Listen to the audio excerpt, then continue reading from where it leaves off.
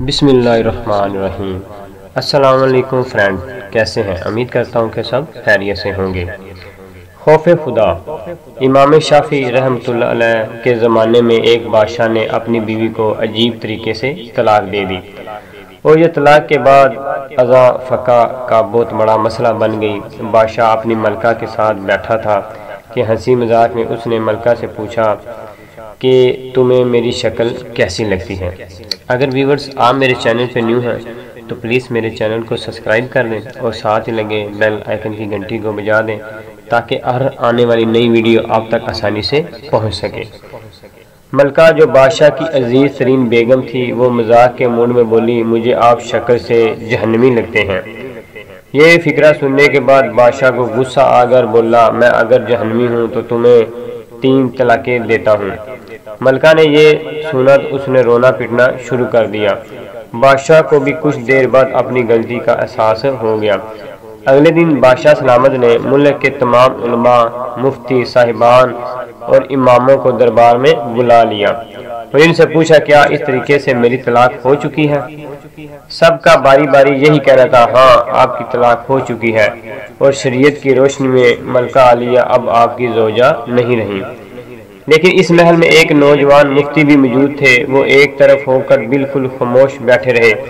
بادشاہ نے اس سے بھی یہی سوال پوچھا تو انہوں نے عرض کیا، جناب، یہ طلاق نہیں ہوئی، کیونکہ آپ نے مشروط طور پر کہا تھا، اگر میں جہنمی ہوں تو میں تمہیں تین طلاقیں دیتا ہوں۔ اور ابھی تک یہ طے نہیں ہوا کہ آپ جہنمی ہیں۔ آپ کو اگر کوئی شخص جتنے ہونے کی گارنٹی دے دے تو آپ کی یہ طلاق نہیں ہوگی۔ بادشاہ سلامہ نے جوشیلے انداز میں پوچھا لیکن مجھے اس چیز کی گارنٹی کون دے گا؟ سب علماء کرام نے اس سوال کے جواب پر اپنے سر جھکا لیے کہ دنیا میں کوئی شخص جنتی ہے اور کوئی جہنمی۔ اس کی کوئی گارنٹی نہیں دے سکتا۔ اس نوجوان مفتی نے جب تمام علماء کرام کو خاموش دیکھا تو بادشاہ سلامت سے مخاطب ہوا بادشاہ سلامت، میں آپ کو یہ گارنٹی دے سکتا ہوں، لیکن اس لیے میں آپ سے ایک سوال پوچھوں گا۔ اگر آپ کا جواب ہاں ہوا تو میں آپ کو جنتی ہونے کا سرٹیفکیٹ دوں گا۔ بادشاہ نے کہا ہاں پوچھو۔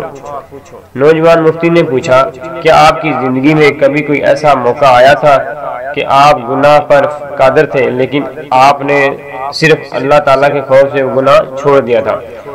بادشاہ نے سر اٹھایا اور کہا ہاں ایک بار ایسا ہوا تھا، میں اپنی خوابگاہ میں داخل ہوا تھا اور وہاں ایک نوکرانی صفائی کر رہی تھی۔ وہ لڑکی انتہائی خوبصورت تھی۔ میں بھٹک گیا۔ میں نے دروازہ اندر سے بند کر لیا۔ میں گرد نیے سے اس لڑکی کی طرف بڑھا تو اس نے رونا شروع کر دیا۔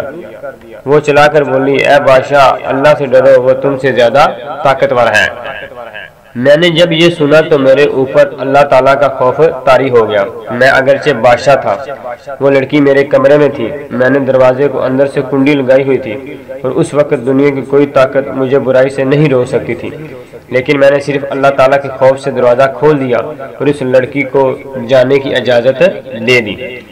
یہ سب سن کر وہ نوجوان مفتی مسکرایا اور اس نے قرآن پاک کی صورت، آیت نمبر فلاں فلاں چالی اور تلاوت فرمائی۔ ترجمہ جو اپنے رب کے سامنے کھڑے ہونے سے ڈر گیا اور اس نے اپنے نفس کو خواہشات میں پڑھنے سے بچا لیا، تو ایسے شخص کا ٹھکانا جنت ہوگی۔ اس کے بعد نوجوان نے بادشاہ سلامت سے کہا، میں آپ کو گارنٹی دیتا ہوں کہ آپ جنتی بھی ہیں اور آپ کی طلاق بھی نہیں ہوئی۔ عزیز دوستو، مسلمان ہونے کے ناطے ہم ہر وقت جنت کے متلاشی ہوتے ہیں۔ لیکن آپ اس واقعے سے اندازہ لگانے اور جنت تو ہر وقت ہمارے سامنے موجود ہوتی ہے اس کے لیے صرف ایک چیز کی ضرورت ہوتی ہے اور وہ یہ ہے کہ ہم خوف خدا کی وجہ سے اس گناہ سے توبہ کریں جس کو کرنے کے لیے ہمارے اندر طاقت اور ہمت نہیں ہے۔